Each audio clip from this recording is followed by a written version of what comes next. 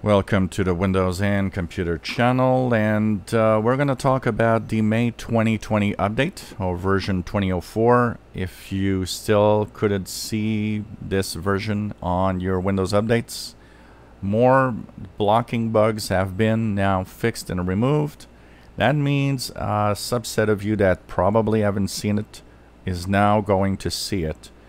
What they are removing as blockers is anything that is related to if the PC had these files, the aksfridge.sys and aksdf.sys,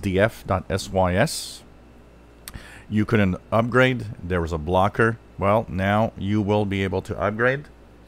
If you had an older NVIDIA graphics processor, if you, a lot of you had older NVIDIA graphics GPUs, one of the things that happened is some of you have forced upgraded to May 2020 update and had problems with the NVIDIA, older NVIDIA GPU pro, uh, drivers.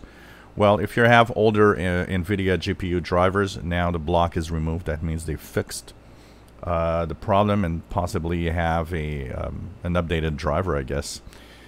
If you had a Realtek Bluetooth radio driver, it was blocked to you. Now this should actually now work.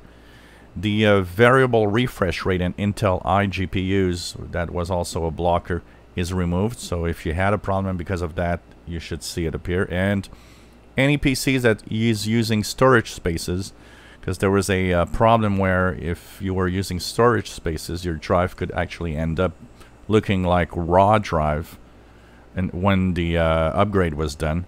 This is also fixed.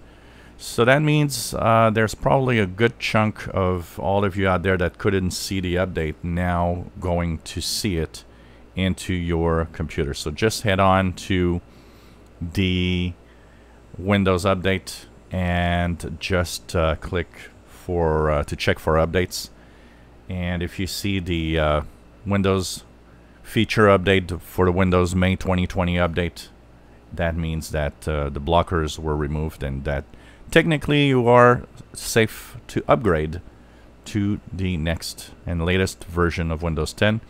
It's going to be interesting to see if that uh, actually accelerates the number of users out there that actually will have it on their computers. If you enjoy our videos, please subscribe, give us thumbs up. Thank you for watching.